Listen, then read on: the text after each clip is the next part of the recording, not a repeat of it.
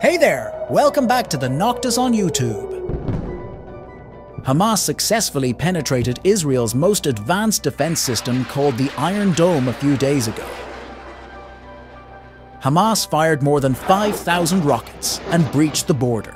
Several soldiers and civilians were killed in the sudden attacks. The exchange of fire between the two sides continued into the night in Gaza and Israel. Previously, the Iron Dome was touted as Israel's most sophisticated defense system against Hamas rockets. The Iron Dome defense system in Israel is one of the most effective air defense systems on the planet. Iron Dome to protect Israeli citizens from Hamas rocket attacks. This Iron Dome intercepts and destroys rockets and short-range mortars of up to 45 miles or about 72.4 kilometers that enter its area of coverage. The sophistication of the Iron Dome system is claimed to have saved many civilian lives during conflicts that have plagued the country in the last decade. The IDF Israel Defense Forces stated that the system had a success rate of 95.6% during rocket attacks by Hamas since May 2021. So, how does the Iron Dome work? The Iron Dome is an Israeli mobile missile defense system designed to intercept short-range rockets and artillery, the Iron Dome is Israel's missile defense system against rocket and drone attacks from the Palestinian territories and Hezbollah-controlled Lebanon. This defense system was developed by Rafael Advanced Defense Systems with support from the United States. The Iron Dome system is primarily designed to intercept rockets, not cruise missiles. According to MDAA, the Israeli defense system consists of three main elements the Tamir interceptor and its launcher, the ELM 2084 MMR multi-mission radar, and the BMC battle management and weapon control systems. An Iron Dome battery typically includes 3 to 4 launchers, a battle management system, and a fire control radar. Each launcher can hold up to 20 Tamir interceptors, a single Iron Dome battery can defend an area of up to 150 square kilometers from short-range missile, mortar, and rocket threats. The Iron Dome system can distinguish whether a rocket will fall in a populated area or in an open area without endangering it. The Iron Dome can detect and engage targets at a range of up to 70 kilometers. The system uses command data links and active radar seekers in the interceptors for guidance, and employs high explosive warheads to destroy the target. The ELM 2084 MMR serves to detect incoming threats and provide mid-course guidance for the Tamir interceptor. This radar is an active 3D electronically scanned array operating in the S-band frequency. Since its initial deployment, the Iron Dome has been continuously improved. Israel has enhanced its tracking and engagement mechanisms and increased the number of batteries. Israel began developing the Iron Dome in 2007. The latest Iron Dome testing was completed in 2010, and Israel began deploying its first units in 2011. According to reports, the Iron Dome had intercepted more than 1,500 targets between 2011 and April 2016. Israeli officials claimed that the Iron Dome intercepted 85% of the 400 rockets fired from the Gaza Strip during the 2012 conflict with Hamas. These rockets were projected to hit strategic population centers or civilian areas,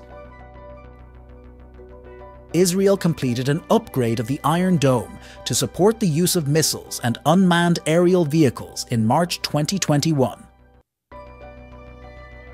Israel verified the system's air defense capabilities in tests that included rocket and missile attacks, as well as simultaneous UAV threats. By the end of the Israel-Palestine conflict in 2021, more than 4,000 rockets had been fired, with an estimated 20 to 33% of them not reaching Israeli territory. During this conflict, Israeli officials claimed a 90% success rate for the Iron Dome against selected rockets. Meanwhile, other analyses suggested that the Iron Dome had intercepted 1,428 out of 1,500 rockets approaching populated areas, with a reported success rate of 95%. Hamas fired 5,000 rockets at Israel on Saturday, October 7, 2023. Sirens were even heard as far as Tel Aviv and Beersheba. This attack marked Hamas's deadliest attack since the Egyptian and Syrian attacks during the Yom Kippur War 50 years ago. The system, equipped with radar that detects rockets and uses command and control systems, quickly calculates whether incoming projectiles pose a threat or will impact uninhabited areas. If a rocket is deemed a threat, the Iron Dome fires ground-launched missiles to destroy it in the air. The defense system creates a loud explosion when intercepting the rocket, which can sometimes be felt on the ground as it destroys the enemy missile. There are 10 Iron Dome batteries throughout Israel. Raytheon and the International Institute for Strategic Studies report that these batteries each have 3 to 4 launchers. Iron Dome 2.0 has been used by Israel since the May 2021 conflict and successfully intercepted around 90% of the 4,000 rockets fired by Hamas. Iron Dome 2.0 uses a new missile called Tamir 2. Each interceptor missile costs approximately $80,000, although some sources report prices as high as $150,000 per missile assuming each Iron Dome 2.0 battery has four missile launchers, and each launcher holds 10 missiles. The total cost for 10 batteries would be approximately $460 million. Iron Dome 2.0 features a more advanced radar system called the ELM 2084, which can detect projectiles with higher accuracy and reduce the risk of false alarms. This radar system was developed by Israel Aerospace Industries and costs around $25 million per unit. Assuming each Iron Dome 2.0 battery has one radar unit, the total cost for 10 batteries would be approximately $250 million. Therefore, the estimated cost of developing Iron Dome 2.0 is approximately $710 million. However, this is a rough estimate and does not include operational costs, maintenance and further development of the air defence system. Although the Iron Dome plays a key role in Israel's air defence, it does not work alone. It is part of Israel's multi-layered air defence system, which includes middle-tier and Arrow 3 layers designed to intercept ballistic missiles outside the Earth's atmosphere. When Hamas fired 5,000 rockets at Israel, the detection and tracking radar within the Iron Dome detected the rockets and sent information to the weapon control system. Quick calculations were then made to detect the trajectory and potential targets, and threats were subsequently destroyed. However, why were Hamas rockets able to penetrate the so-called most advanced Iron Dome defense system on Earth?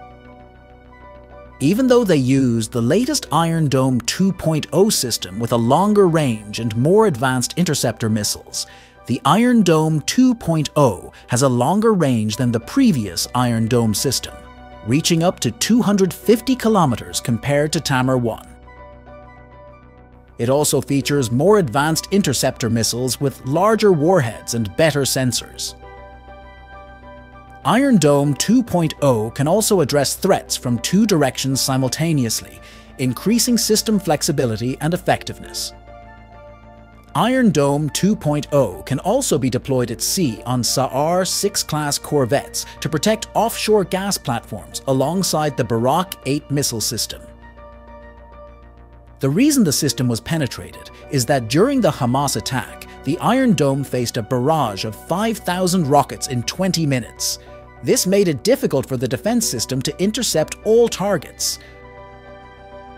On the other hand, Hamas was able to fire thousands of rockets because their cost was much lower.